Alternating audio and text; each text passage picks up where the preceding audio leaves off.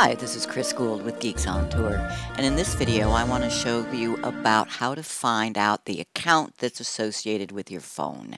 Every iPhone needs an Apple ID, that's an Apple account, and every Android phone needs a Google account. I'm going to show you how to find out what is on your phone.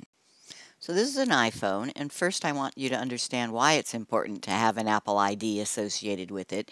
You won't be able to download any apps. Let's say I wanted to get this app, and it's going to need to know your account, your Apple ID, and the password for that account in order to download an app, even a free app. So how do you find out what has been set up on your phone?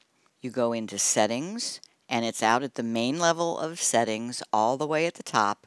Right at the top it has the username who owns this phone. You tap there and there is the Apple ID, gotguest1 at iCloud.com. This is an old phone of mine. I'm not showing you my, my real account stuff. So that is the username, but you're also going to need to know the password.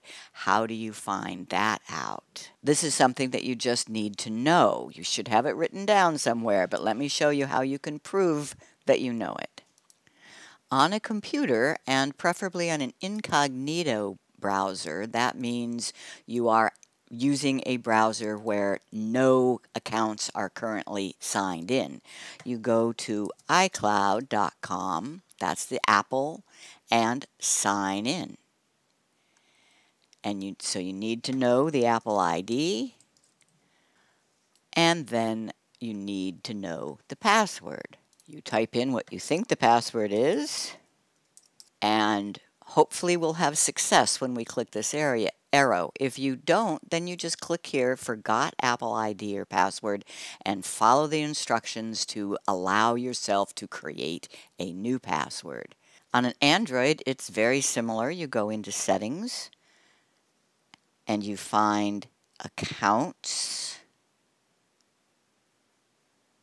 and you should see a Google account Otherwise, you would not be able to get apps from the Play Store. And there it is, gotguest1 at gmail.com. And to prove that you know the password, go to a computer browser and open an incognito window. Go to google.com and sign in.